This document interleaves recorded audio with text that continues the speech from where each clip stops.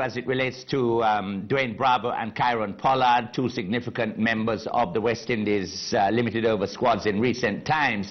Were you given a directive not to ch choose these two? No, nobody, nobody will be able to do that to me. Else I, I won't be there. Um, I never spoke to anybody. I spoke to the president only uh, uh, last, is it when he when he came to South Africa the other day. Mm -hmm. the point is that Simon let people understand that we have been at the bottom rung of the ladder for the last eight years or more. With the same players, we recycling people all the time. The point is, that we now have, we try to see if we can change things. It's quite obvious that, you know, picking a West Indies team is not easy. It's a very difficult job. Because if you look at the stats that our players have, they're not really, you know, wonderful. So we'll be picking players averaging 20s and 25, some even 19. And, um, you know, in, in other countries, players are not being selected for even better stats than that. So we're starting from scratch. We know that, you know, it's obvious that um, um, Mr. Bravo and, and Pollard might think, well, you know, it, it's very tough on them. Yes, it's it's tough in the sense that um, there were a lot of discussion. We had two days of discussions, um, the selectors, not only myself, we have three, three other selectors and the captain. And there were, you know, very, very strong um, arguments for players. And then we came up with what we thought would, would be a, pretty good team. The point is that it's not a situation where these guys are being wiped away. They have a chance of playing again for the West Indies. There's no doubt about that. Um, but we want, we have a new captain, and hopefully that um, he'll get the support that is needed. And then we, we're putting a, a, a very good performance. Um, it is difficult in the sense that we have, we think that it's important that any captain, it may be a test match or one day, have a settled side. We want people who will be there and there often, and that's a word, something that we're sending out to all players. Yeah, we have no axe to grind. I don't dislike anybody. Um, we want the best for West Indies, and um, and once we can, you know, it's it's going to take it's going to take some doing because, you know, we we don't have a, a great set of players to choose from. What we have is some good young players coming through, even from the under 19s, and we we need to reward them when they when they've done well. And um, it's obvious that some people might, you know, miss out in, in at some stage, but we will try to pick the best team at all times. Well, you, you mentioned about um, some fairly ordinary averages, but that applies to the likes of uh, Darren Sammy and Andre Russell, um, who've been around the circuit for a little while, but have similar averages to, say, um, Bravo and Pollard. How did you make the choice between? Well, I think if you look at Pollard, uh, Sammy does have some very good stats. Um, good, he's good tactician. He help people along, and um, I think he'd be good for, for young for young Jason. Um, I think, I actually think that Andre Ross, and I spoke to him about it, that I think he could be one a, a fine all-rounder if he just you know, applies himself. Uh, he's got the he's got all the credentials to be a terrific all-round. I thought that, you know, my uh, well, we thought that probably he would he would he would do well in the test match, coming in later on, who could, you, you know, being able to um, get us some big scores at the end there to to galvanize in, galvanize into better totals. He can field. He, he, he's fairly lively when he bowls. Um, I think he, he has a bit of a knee problem, but we're hoping that that will clear up at some time soon. Do you think um, it's a, do you think it's a case with Andre Russell that he needs to understand his role as a bowler a little bit better than than he does at the moment? Yes, I think I think he, we have to, to speak to him and say, well, listen, what you want to do. I've already had a word, word with him, um, but I, I think these guys too doing well in the in the in the one in the these one day leagues, and people want them to play, and they have to make a choice. Um, and I hope that they would understand that we don't mind them playing wherever they have to play. But West Indies, West Indies cricket should be first. And when, whenever we have cricket, we'd like them to play for us and play first as often as possible, as the other countries are doing. You mentioned the, the new captain, Jason Holder, and that Darren Sammy would be good in advising him and some of the other players. In your deliberations about leaving Bravo and Pollard out, is that in an effort to give maybe Holder a little more control over the side?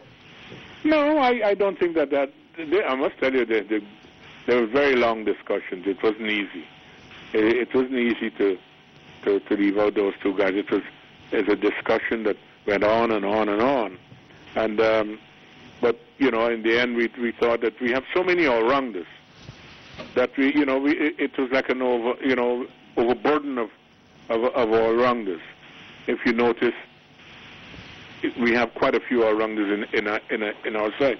We were trying to see if we can introduce some new faces, um, you know, and as far as I'm concerned, we're getting there. We have, I think, we have a good all-round, good one-day side. Mm. I oh. think, and I think the Test cricket, the te- it's going to take some time because you take a little longer time to play good Test cricket, but you can see some green shoots. Um, we we could have we could have saved the Test series, I suppose. I thought at one stage we, we could have won the last one if we had batted a, a, with a little bit more, um, you know, intelligence and so on.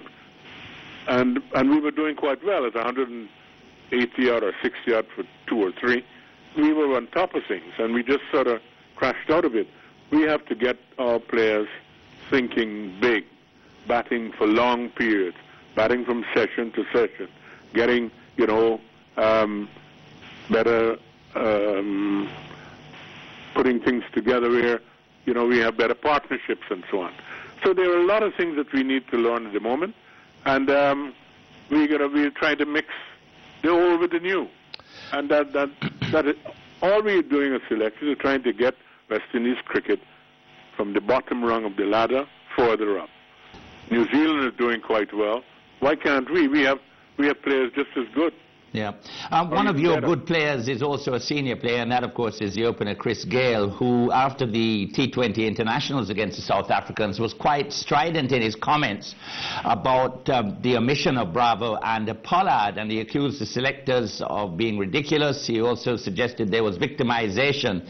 That's from one of your senior players. How do you respond to, A, those charges, and B, the fact that Gayle was so, um, shall we say, open with his comments?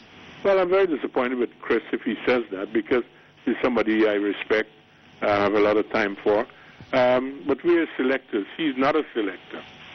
And um, he might think it's victimization. We, we have, I have nothing against any anybody because, you know, quite a few of the other players are playing. Uh, why are they not victimized? Uh, we were trying to get a, a, a, the best team out there. And um, I know that it's obvious that people might think it is, but it isn't. Okay. We will we will continue to pick people who we think um, putting in the effort. Good. I'm not saying that these guys, but we have to try and get out of that number eight position. All right. Clive, Clive, who are, the, are at the bottom of us are, are Zimbabwe and, and Bangladesh. And we've been there now, Simon, for how long? Too long. Um, I'm going to ask you to. So we have to try different things. People are going to be, will feel disappointed in, in things that you do, but you have to try and get a system where we we we have to try people, younger people. You know, we have to try people, the people who are performing well in our cricket. We have to reward them for doing so. All right, I'm going to ask you to, to hold the line, Clive Lloyd. We're going to take a short break. We'll be back with the uh, chairman of selectors in just a moment.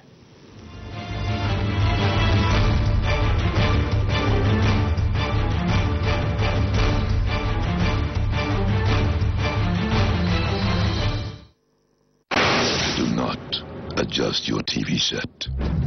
Something more is about to happen. Something more bold something more striking, unveiling the new look of Guinness.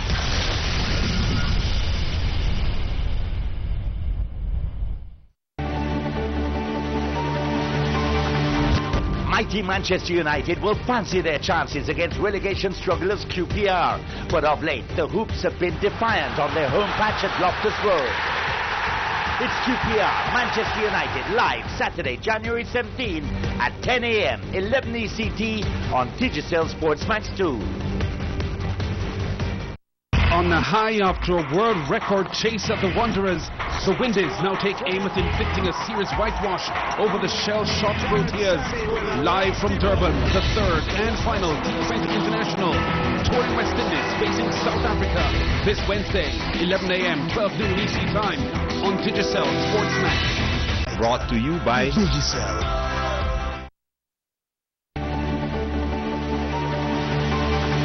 The Lily Whites are closing in on a top four spot, but first they must break. On the high after a world record chase of the Wanderers, the Windies now take aim at inflicting a serious whitewash over the shell-shocked Proteas. Live from Durban, the third and final T20 International. Touring West Indies facing South Africa this Wednesday, 11 a.m., 12 noon EC time on Digicel Sportsmax. Brought to you by Digicel.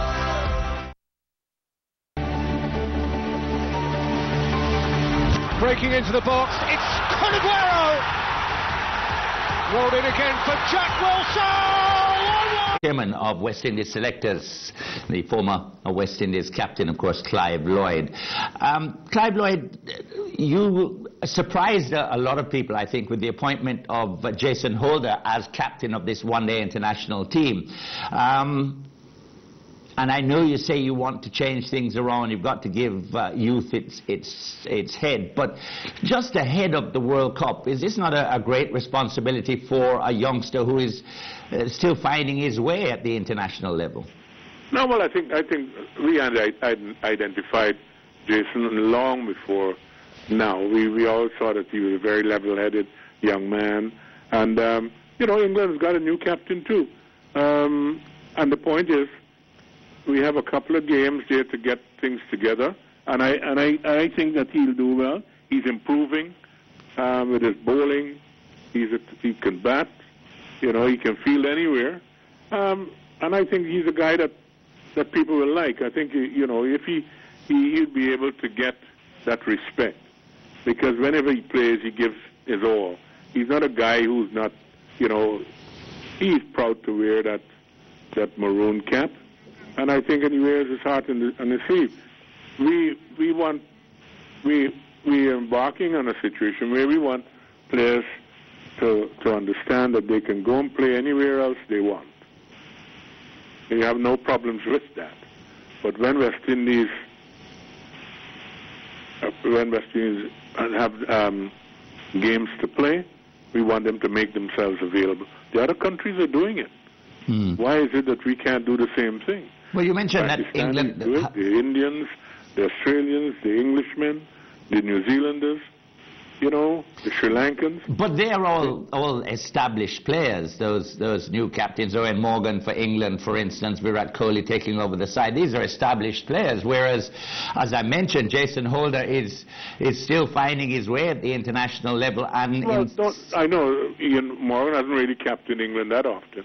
The odd game here and there Holder's captain um, the Tridents. He's captain, you know, Barbados. He's he's he's done enough in the sense that, you know, if you look at you look at um, South Africa, Graeme Smith was 21 years old, and guys are saying, "My God, you know, you know, he's so young and so on." But look, they have the captain for 10 years or more, and um, we're looking to get people there who we feel will take our cricket forward.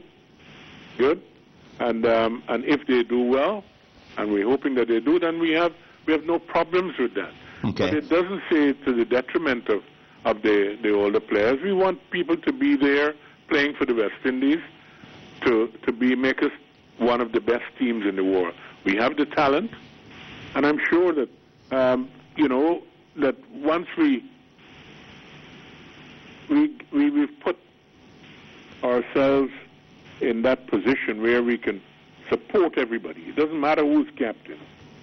We want people to go out there and make make sure that the West Indies do move off the the, the bottom rung of the ladder. We've um, been there for too long with the same players. Yeah. Over the last what six, seven years, we've been trying with the same players and we haven't moved. Why is it that because we we've decided to change, you know, a system, and not to, not to say that these guys are going to be they're, they're thrown out and they're not they won't be able to come back.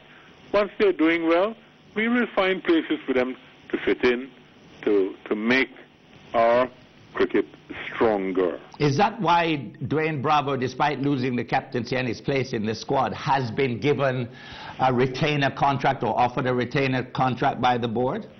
Well, right, he's been offered because if we didn't think that he was part of our system, we wouldn't do that. You know, we've offered all of the players that we feel that will take our cricket forward um, a retainer. What do you make of the likes of Sunil Narine, Chris Gayle uh, refusing uh, the retainers? What does that suggest about their well, uh, involvement? The point is, is that uh, uh, Chris has met, said why he, he's done it. Mm-hmm. The point is, you don't have to sign the contract, but the point is, when it comes to playing, and we've asked you to play, and then you make yourself unavailable, well, then that's a different situation. You are offered a contract because we feel that you, you're going to be part of our system. Okay. Um, I just want to ask you, uh, Nicholas Pooran, the Trinidad and Tobago wicketkeeper batsman, injured in a car crash last week, but uh, fortunately he's, he's okay. When you talk about making changes, being bold in changes, is he a part of your thoughts? Well, uh, I, I, there's a fellow Lewis too. Mm-hmm. There's Lewis, there's Pooran. There are quite a few. There's a, the little left arm spinner. Um, I'm trying to remember his name now. Um, and I think he, you know, there are all guys there who are doing well. Um, we have Permaul from Guyana. I like the your your fast young fast bowler Mindley. Mm-hmm. I think he has a future. He looked good. He looked got good action, lively. We have to work with these guys. They're going to be the future of our cricket. And if they're doing well, we have to reward them. We want to have, we want to change this system that we had before. We cannot just think that we, there's a set of people, because they might be doing well elsewhere, that they, that they, we want people to be doing well, well for us. Once you're doing well for us, you will be rewarded. We want, we want the best people to emerge. I know it's going to be problematic in choosing. It's not easy to choose a West Indies team. If you look at our players, sometimes when the the stats go up, I mean, you know, you feel, well, I hope that they change it as quickly as possible. We have batsmen who are in the 20s and the 30s. We had, we had, we had. Uh, don't forget, huh? Um, uh, these, these are selectors that brought back Marlon Samuels, Mhm. who was thrown to the to the dogs, more or less. But he's come back now, and he's one of the finest players again in the world. He's gone up in the ratings. We we, we have to keep we have to keep playing these people, giving them a chance to show what what they have. Um, and But, I think but isn't that in isn't that in direct conflict with maybe the discarding of Pollard and Bravo? You you you stuck with uh, Marlon Samuels, who had a, a little run of form that was not so good because you recognised his ability.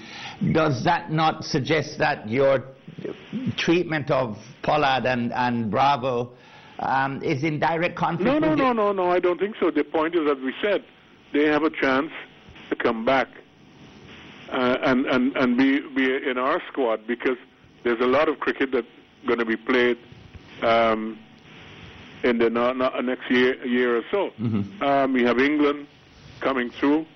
you know, we have our four-day competition.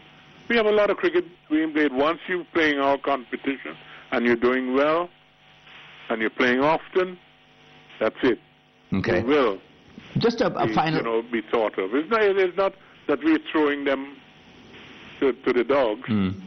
You know, Marlon has shown that he's he's a class player and he's come back and he's you know doing extremely well, and I'm glad for that because he's added something to to our team. He's now you know solidify his his his um his position. We want people to go out there and make sure that West Indies cricket is for us. And whenever we have our, we want people to be back there playing in our domestic cricket, Okay. where the youngsters will be able to have a chance of playing with our great players. A final word on the World Cup. You've chosen your 15-man squad. What are your reasonable expectations for the performance of this side? With the Australians being at home, New Zealand have uh, always been uh, there or thereabouts around the semi-finals area. Um, you look at the Indians, who are, are a fairly impressive one-day side, even though there may be a few changes there. What are your expectations for the West Indies? Well, the point is, this is 40 years since we won the first one, and I'm hoping that um, we'll be able to emulate that for the one that we did. Um, we won 40 years ago. We have a new captain. We have some very good players there, and if they play, as I, as I said, to the to their ability to go out there and, and fear no one, we are good as any of those teams out there, and I think that um, we can do well, and I, I hope that we do.